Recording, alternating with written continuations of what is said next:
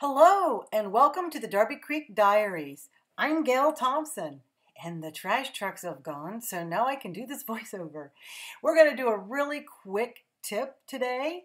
Um, if you have unmounted stamps, they're a great way to save money, and I just want to show you a few ways how to use them and have a giveaway.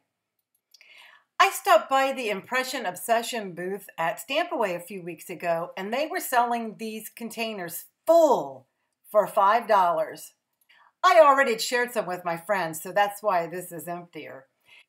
You need some EZ Mount foam mounting sheets and some, I use the Tim Holtz scissors because they are Teflon. I picked an easy stamp to cut around because, well, to save time.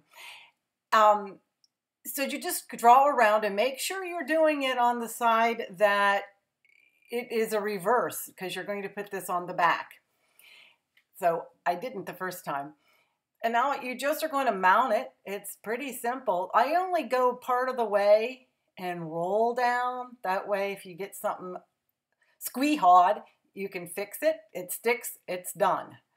So you press it down and then you just trim off the sides. I kind of angle it in a little bit. But as you can see, it's really easy. It takes a little longer to do the the more intricate images, but I store them in just notebooks. I feel that the simplest is the quickest, and I don't have an elaborate system. I just have a notebook. This one happens to be seasons and holidays. And I need to put some more in. I have some loose in there.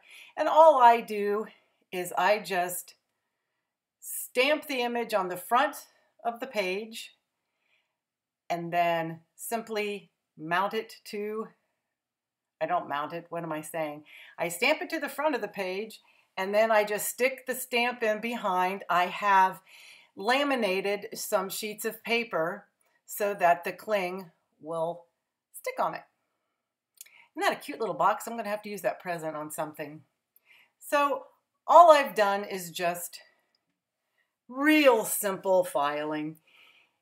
There are probably people that have, you know, wonderful intricate systems, but the more time you spend on organizing, the less you get to craft. So that's how I keep my stamps that are unmounted. Now, how to use them?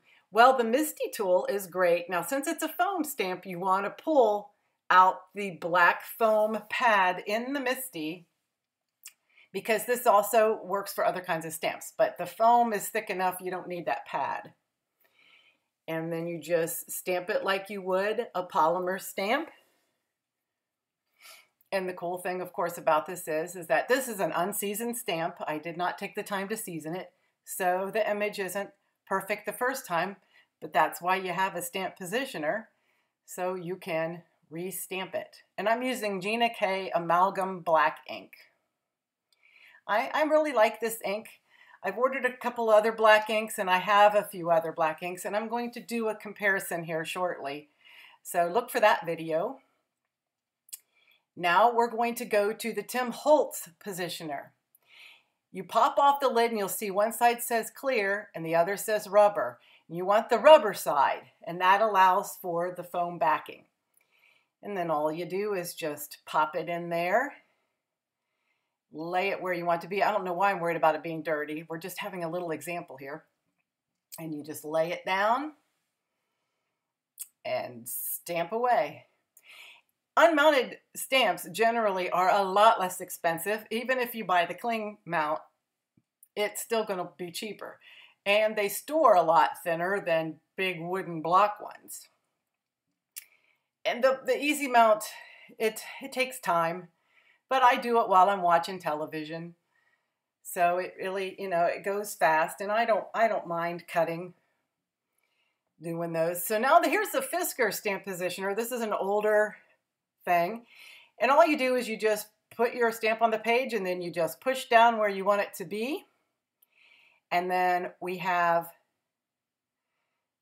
you just stamp it up like you normally would, but this gives you an idea if you don't have the other positioners, you get to put it on the page. You can make sure it's straight. I straightened it up with the grid on my mat.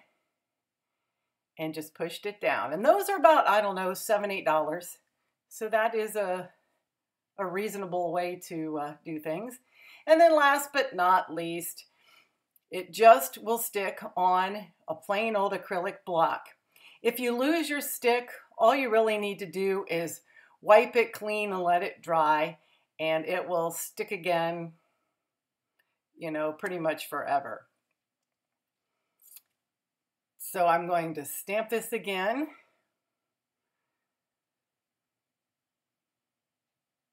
And I don't know why I'm fooling around with this, but anyway, that is my little tutorial.